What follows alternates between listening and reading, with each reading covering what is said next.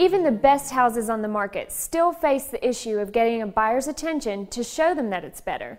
And that comes down to price, because that's how buyers search for homes.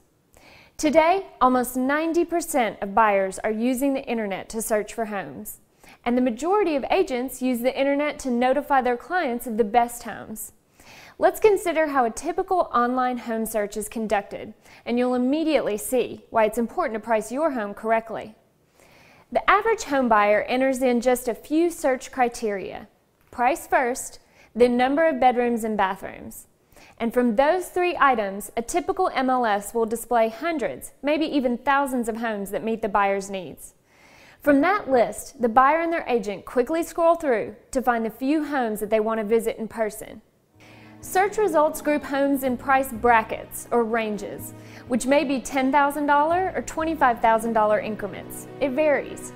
But the fact that these brackets exist and drive what buyers and their agents see is critical in pricing right. When you price your home out of its optimal price bracket, a buyer sees homes in the next price bracket, which may be larger and have more features and amenities in comparison to your home.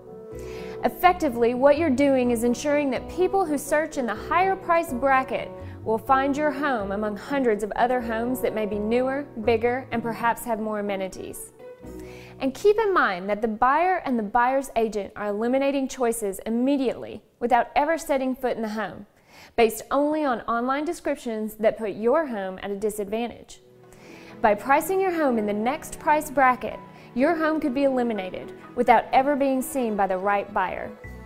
What's worse, the right buyers, those searching for a home just like yours and all that your house has to offer, may not even see your home in their search results and wouldn't have the opportunity to make it one of the few they tour in person.